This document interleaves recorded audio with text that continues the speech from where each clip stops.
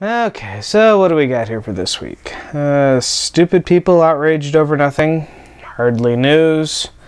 Uh, Mike Huckabee said something ignorant and offensive. No. Justin Bieber, no.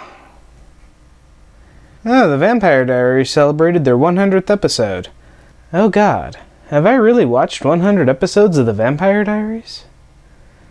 oh, here we go. Taking advantage of Superman Batman's 10 month delay, Marvel has announced that they're moving Ant Man up two weeks to fill that uh, apparently valuable July 17th spot. And speaking of Superman Batman, Gal Gadot has revealed that she's contracted to play Wonder Woman in three films. Presumably, Superman Batman, a Justice League movie, and of course, a supporting role in an Aquaman movie. With nearly a month since the catastrophic launch of the Pokemon Bank, Nintendo has finally tried to re-release the software, hopefully without crippling their whole eStore this time.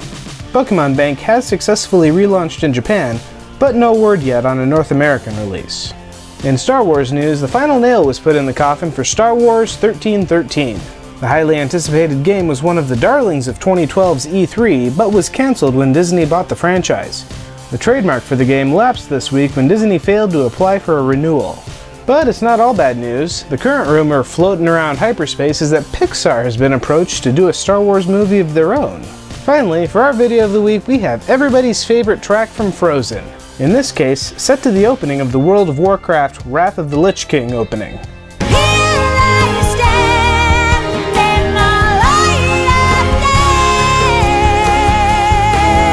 And that's all for me this week. Be sure to like and subscribe down below, leave a comment, share the video with your friends, and have a great week.